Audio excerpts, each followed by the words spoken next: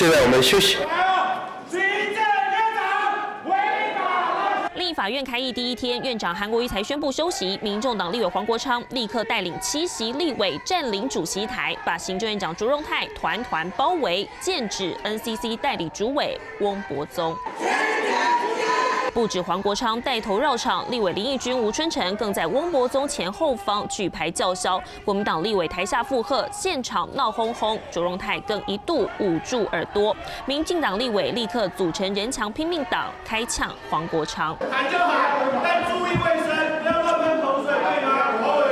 不满 NCC 组织法已经修正通过，翁博宗仍继续当代理主委。开议第一天，民众党立委黄国昌就领军出击，要求院会确认翁博宗备询资格，瘫痪议程长达五十分钟。有关翁博宗代理主委备询资格，确有审酌空间。不过，本次会议台湾民众党党团已经提出国家通讯传播委员会组织法之修正案及一般提案。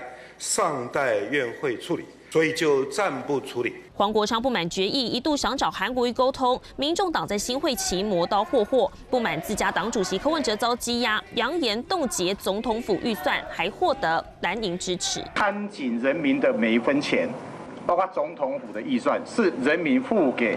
立法委该有的职权，总统府有非常多的黑机关是要主张就是严审。韩国瑜前一天才喊话立委们用爱质询，但开议首日朝野立刻激烈对抗，烟硝味弥漫。三立新闻张文贤、蔡孝仪、黄晨波他们小组台报道。